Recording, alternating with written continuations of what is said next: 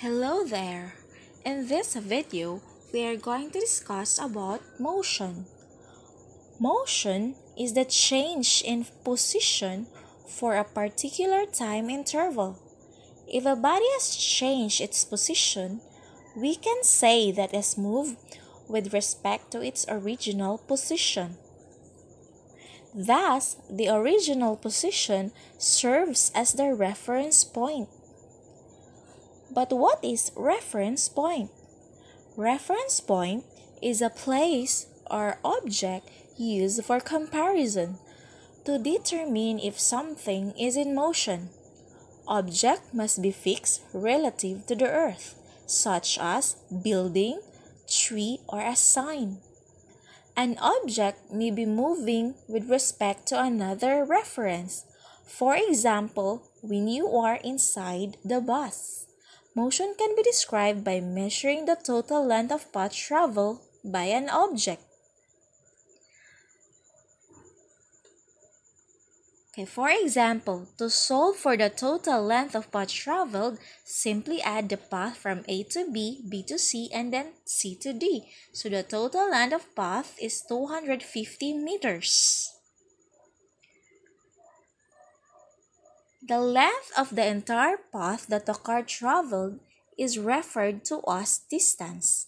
Based on the above scenario, the total length of path is 250 meters.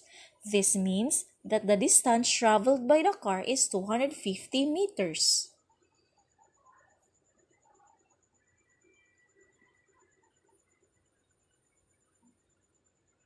Let's talk about displacement.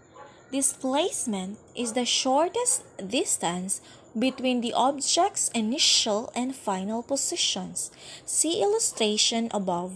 Based on the given illustration, the displacement is 50 meters.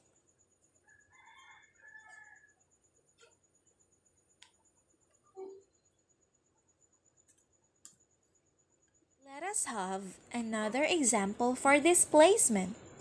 Above scenario illustrates a car just go back to its original or initial position. So what is its displacement? Correct, zero. It is because displacement refers to the shortest distance between initial and final position. What is the difference between distance and displacement? Distance is the total length of path while displacement is the distance between the initial position and final position. Distance is a scalar quantity, while displacement is a vector quantity. Thank you for watching.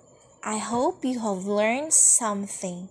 Until next video, bye-bye.